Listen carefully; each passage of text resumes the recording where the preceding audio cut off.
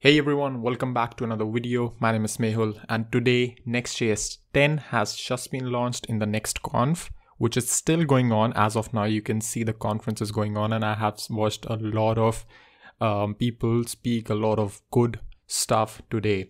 So it was super helpful. I think they would just keep the videos up so you can go to their channel to check that out. I'll probably leave a link in the description. But the story today is that Next 10 has been launched. So it has been launched a few hours ago, you know, seven hours to be precise. And it brings a lot of neat and decent changes with it.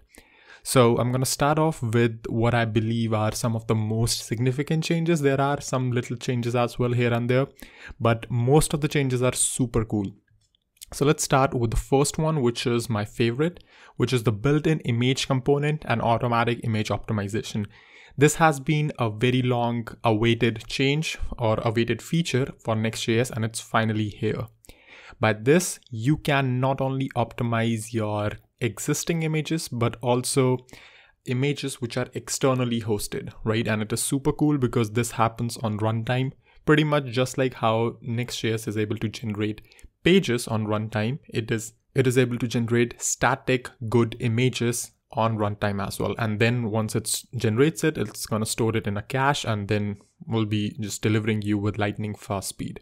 So it does not avoid, it avoids building images on build time. So it is super exciting and super good because you can have dynamic sources for images as well, which I use a lot of times on codedamn.com. So I'm going to show you that how it works. Let's just go to codedamn.com and I have, you know, I have been sitting so far and I have made use of images component to convert images of CodeDamn to use this particular component. So let's go to courses, for example. So you see First thing you're going to see is that I'll scroll very fast at the bottom and you're going to see that this image was still loading, right? You could see that that image was still loading. So that was because this component right here, so uh, it, it comes automatically with the lazy loading effect. That means unless you are, your image or your container is not in the view, the image will not be loaded, right? It saves bandwidth, it saves memory. So it's a win-win for everybody.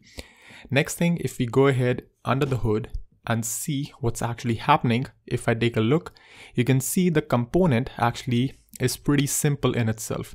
Um, you can go ahead and see right here as an example, this is all you have to do, but this component will render this markup right here, starting from this particular div tag all the way down to two divs and then an image tag.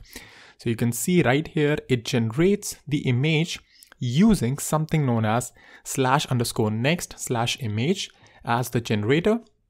Now this is interesting because this is something which I have seen before with Cloudflare as well. So Cloudflare also has a specific sort of path which is reserved for Cloudflare access on your website.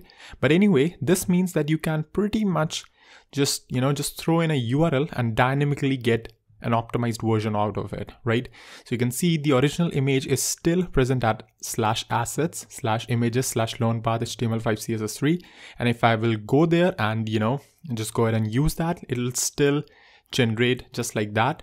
But uh, uh, in this case, yep, you can just go ahead and get an optimized version instead using the next image optimizer, which is provided by Vercel free of cost or if you're on hobby plan.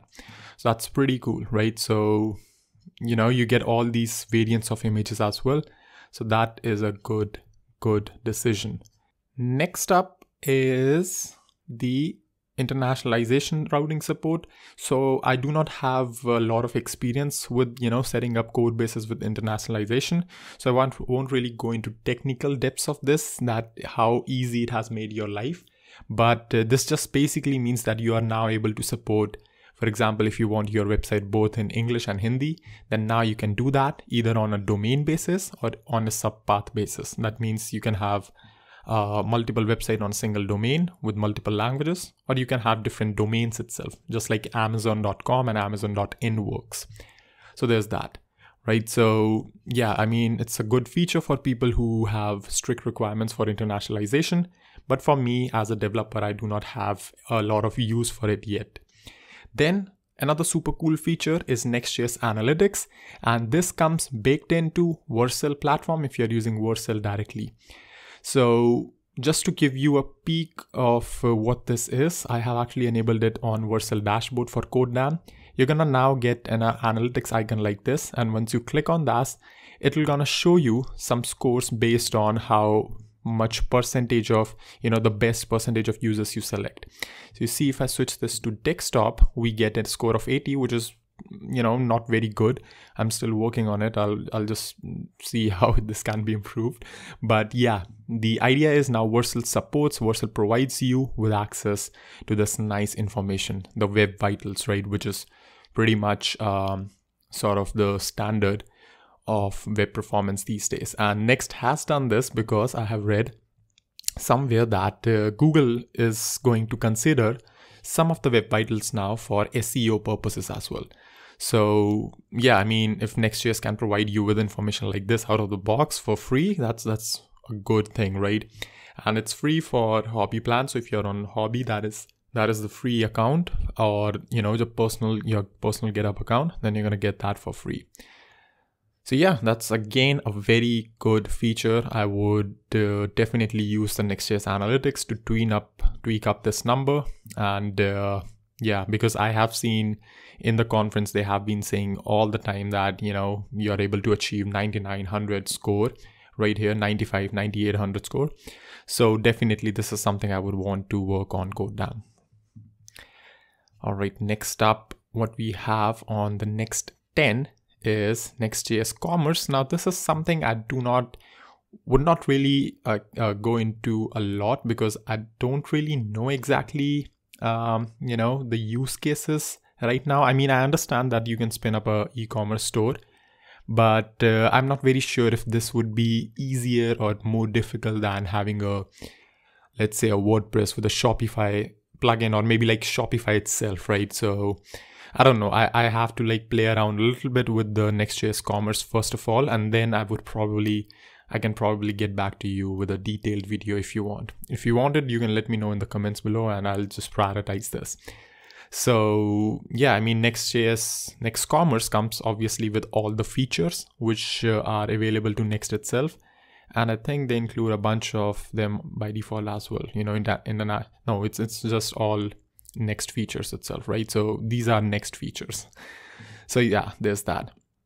Next up is we have React 17 support. Not a big deal, but uh, there you go, right? Next, I think React 17 worked out of the box with Next uh, 9.5 as well, but uh, now they have officially supported it, so that's good. There's another change which they have made. I have yet to experience this, but I'm pretty sure this would work. Is that get static props and get server side props are now fast refresh enabled. By this, what I mean is that now if you make a change in get static props method or get server side, it is automatically gonna reflect on your page, right? So you do not have to manually reload the page, which you have to do up till now.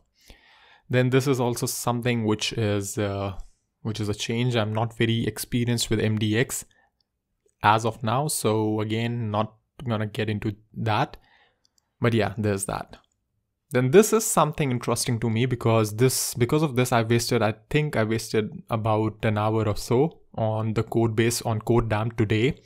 I'm tell you i am gonna tell you why because uh, Next.js says that hey now you can go ahead and import CSS right away from the node modules. But what I was using is I'm using Monaco editor, right? You might have seen that if you go to classrooms and pick up any, let's say URL shortener project, if you enroll in it, you're going to see that basically you get that practice interface, right? So this editor right here, which is just going to appear in a second. Um, yeah, this editor right here, this is Monaco editor, right? Uh, basically the editor which powers VS Code. So what was surprising to me was that, uh, I mean, I, I probably misread the feature. I tried to convert my existing custom webpack configuration, which is, you know, a fully custom webpack configuration for loading CSS into the default one which Next.js provides out of the box because this is finally the feature which I was waiting for or so I thought.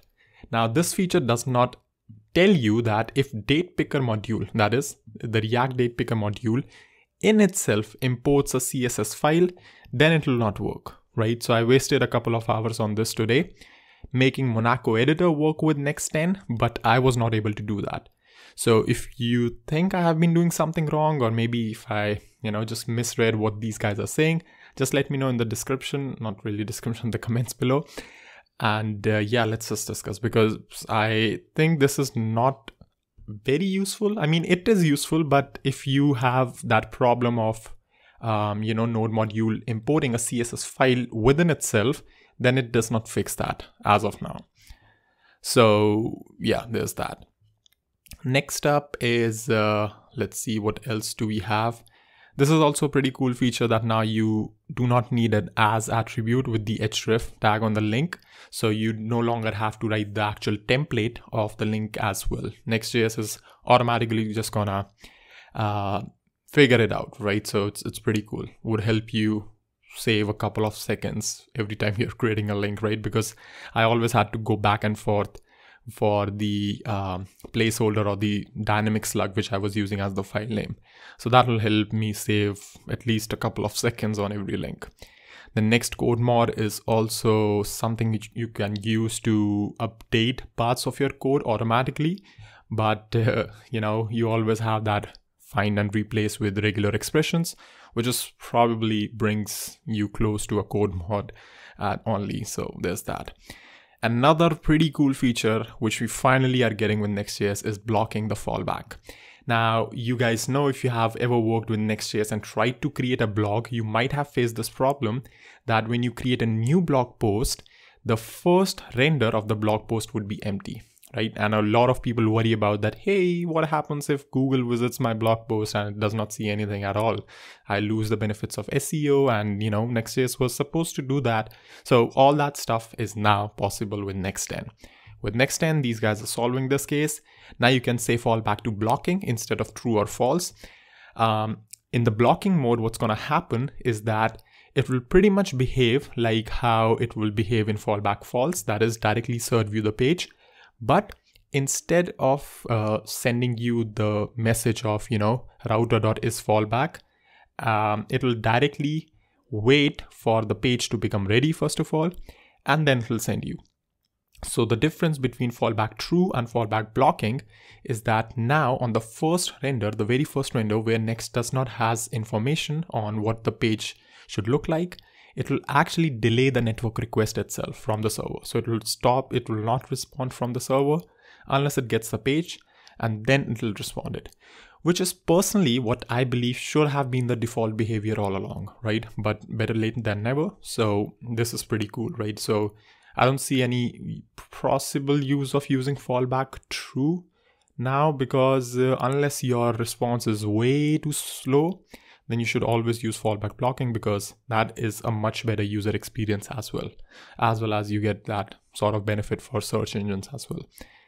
So yeah, that's that's basically it for Next 10 and I have already upgraded to Next 10 on CodeDamn. So if you visit codedamn.com, you are actually running Next 10, right? So this is a Next 10 project.